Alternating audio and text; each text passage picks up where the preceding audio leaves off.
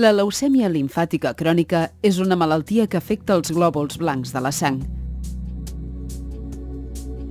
El seu desenvolupament està relacionat amb alteracions moleculars a l'ADN que es troba al nucli de les cèl·lules.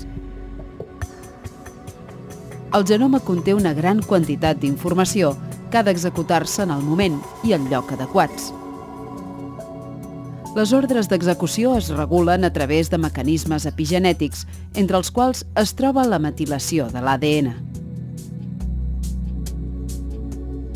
L'estat de metilació de l'ADN permet que els gens s'expressin o no.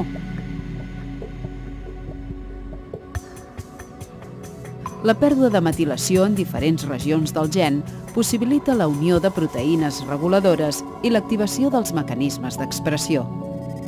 En la leucèmia limfàtica crònica, les cèl·lules pateixen una pèrdua massiva de metilació en un gran nombre de gens, causant una expressió anòmala i un creixement celular descontrolat. Un nou treball del projecte del genoma de la leucèmia limfàtica crònica ha revelat més d'un milió d'alteracions epigenètiques a les cèl·lules canceroses.